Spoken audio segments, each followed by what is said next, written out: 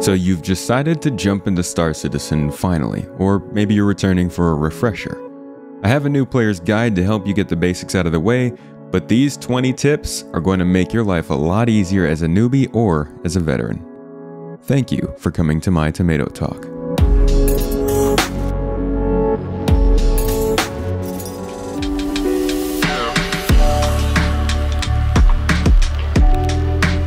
One of the first applicable tips I can give you that will immediately make your life easier is tapping the F key to interact with objects. Instead of fumbling with selecting a word, you can tap the interaction button to select the first available action. This one comes from the community. I'll link the post below if you'd like to see all the tips we collected for this video on YouTube and on Twitter. But don't fly straight at your targets, especially at night. Due to the differences in scale and momentum some of the ships carry, it can be hard to judge when you should start slowing down. If you aim slightly off target, you can always overshoot and come back. Otherwise, you'll explode. Nobody likes to explode.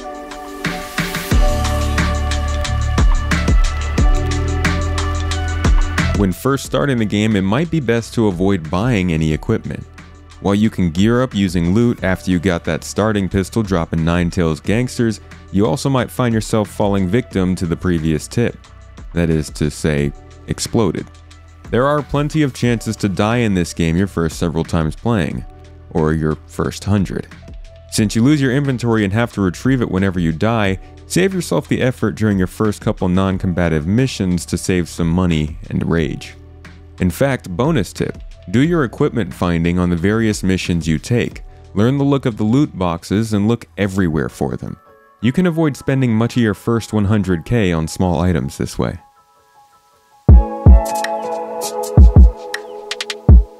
You'll notice that a lot of these tips have to do with death and avoiding its effects. We have to do that a lot in this game. But in lore, humans have discovered a way to imprint our consciousness into what is essentially a mental or physical clone of ourselves. It gets really deep and it's actually pretty fun to learn about, so I'll post a walkthrough about death in the Star Citizen universe down below. But it's also important to know to understand how our respawns work. Thanks to the community for this one. Every space station and tier 1 bed you visit has a monitor that allows you to get medical treatment as well as save your respawn point. For ships, this is only true as long as the ship is spawned in, but for cities and space stations, this will remain until you change it.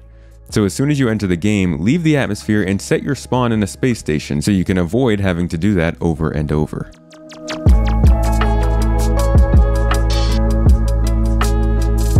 Instead of looking for the option of exiting a chair when you find your butt planted with no escape, press and hold the Y key to get right up and walk away. Seriously useful because the interaction system can get uh, tiresome. It's very hard to see in the dark in this game. Like, it gives space a good name, considering all the darkness it looks like. But even planets at night can be difficult to navigate. The altimeter at the time of this video is still linked to the sea level reading, so you can't trust it to tell you when you're going to hit the ground. Hit the tab key to send out a scanning ping and see a wireframe of the area around you. The hope is that someday this will be a short range area of effect we can use for navigating and landing, but for now it is meant to detect other objects. You can spam the button to keep an eye on the ground when you can't see, but be careful because this ping sends out high emissions that will light you up on other people's radar.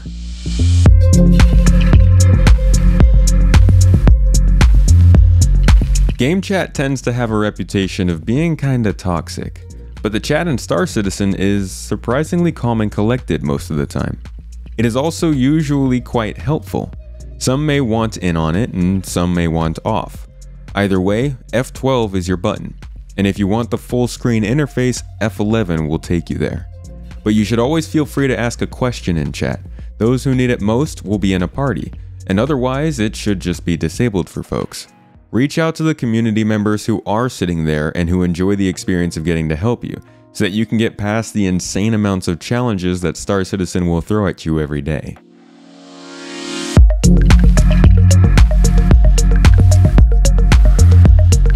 Once you quantum jump to a new world, you might be trying to find the primary city. In the future, I really do hope they are better at showing us where to land, because if you don't already know where in this game, it can be tough. Make sure to look for the lights, or lack thereof in ArcCorp's case, and fly in that direction. Once you can get within about 600 meters, call the spaceport to request landing that should get you an arrow to where you need to go. I've left footage on each spaceport in this section to help you as well, as they're all in different places relatively speaking to their cities. Shout out to the community for this tip.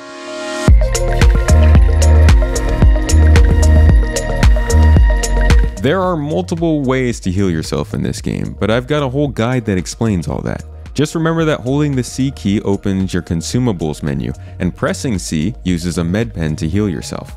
Pressing the B button with a medical tool will allow you to heal yourself with that as well. Stay healthy, friends.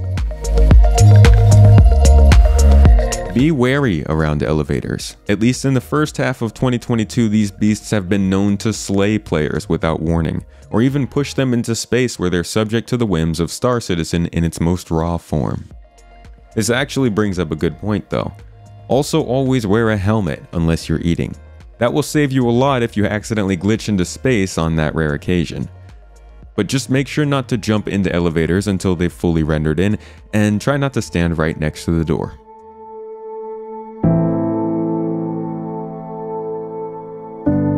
The personal inner thought system is kinda underutilized in the current game. It's a quick action wheel that allows you to do most personal actions in the game at the press of a button. It can be accessed by holding F and right clicking, and it can be used to save favorite actions, emotes, and other things. I keep one for equipping and unequipping my helmet, and for sleeping. Use this menu to figure out controls too. At any point, pulling this menu up will allow you to access contextual controls and even rebind keys if you need to.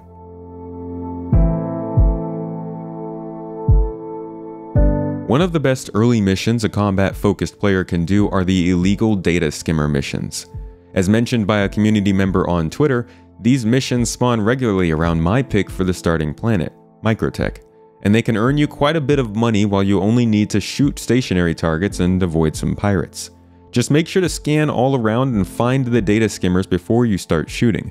Once you do, the pirates will start showing up. This is one of the fastest ways to currently make money for newcomers, and you can share it with a friend if you need to using the contract manager. Remember how I said you should call air traffic control to see where to land? You should also contact them to leave. When you want to leave a hangar, you have to call up to request permission, but this is only in cities and space stations, so don't worry about outposts. It might be weird that there's no minimap in this game just yet, but it doesn't mean that you are lost. Sometimes they don't feel correctly placed, but if you look around at the signs and labels on the walls, you'll be able to get where you need. They do make logical sense, and if you know the name of your destination, they should take you there. Sometimes when trying to find a new location to quantum jump to, you can't get the interface to work with you. It's good practice to hit F2 to enter the star map, and clear your route just to make sure that the computer isn't trying to force you on a different path.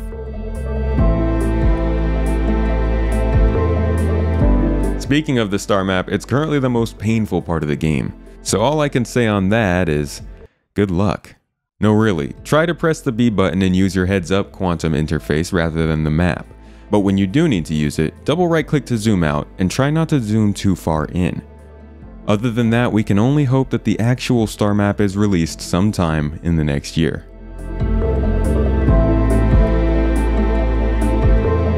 Seriously, if you're just here to play a cool game, don't spend your real money on the ships. Buy the in-game ships with in-game currency that you can earn in-game. Or rent the ships for even cheaper after you make your first 50k. I'm not trying to tell people how to spend their money, I'm just saying you don't have to spend money if you don't want to.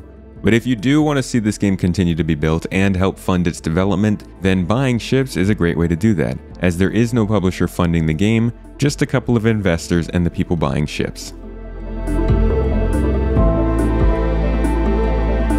Sometimes the game is going to have some problems. You might get kicked out of a server or the whole server could die. This can lead to a multitude of problems launching back in. If you can't seem to load in, Alt F4 out, log out of the launcher, and start the whole process over. There's a good chance this will save you. If not, then you might need a character reset. When all else fails in game and you don't mind losing your inventory, hold the backspace button to end yourself and spawn back wherever your last regeneration point was. I hope you saved it somewhere close to the things you want to do though.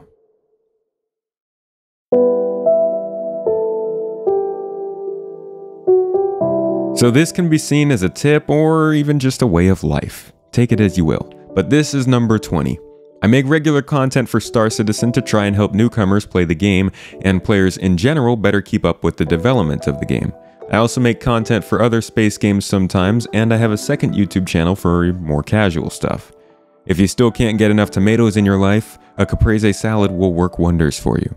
But also, you can come check out my live streams every Monday, Wednesday, Friday, and Saturday to chat about the game, ask questions, and see what's new.